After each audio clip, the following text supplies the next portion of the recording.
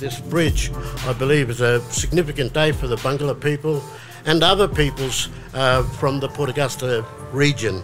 I'd like to thank the dignitaries for coming here, but I'd also like to thank you, the, the public, for being here. It's great to see that uh, we have a community that is uh, diverse and willing to participate in things that are of importance to Port Augusta.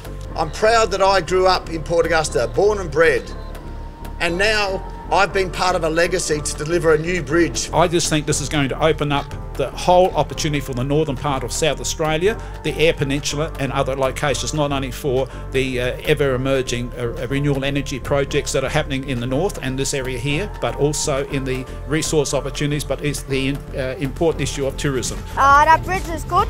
We've been able to um, provide fantastic and really long-term opportunities for, for local companies. Uh, so proud, proud to be associated with that. You know, we are the crossroads of Australia and it's just nice to, you know, be able to be here for the opening of like something that is so, I don't know, big. We started this project, my daughter had just been born and now two and a half years later I got to walk across the bridge holding her hand this morning. So it was, it's been a really, really special day for me. I want to make a, a, a special tribute to not only the people of Port Augusta for their patience, their dedication and commitment to this bridge. Nearly 18,000 vehicles cross this bridge every day, about 6% heavy vehicles. So to actually have a duplicated bridge, it'll actually improve resilience, make a greater network for our national transport links.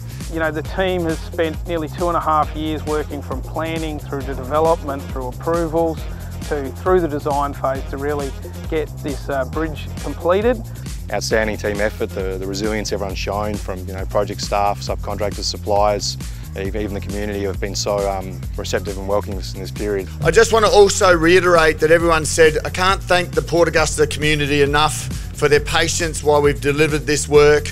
Um, it's been exceptional. Again, I want to acknowledge the men and women that have worked on this project as well. I want to pay tribute to my CEO of the department, uh, which is sharing with uh, Minister Koutsantonis, who can't be here today, uh, John Whelan. John is absolutely fantastic. He's an easy person to work with, and I only have to make a phone call to John, and the issues are rectified. Great thing to be part of, and I'm sure we'll all look back on this for you know the rest of our careers as something we'll really cherish and, and really hold on to.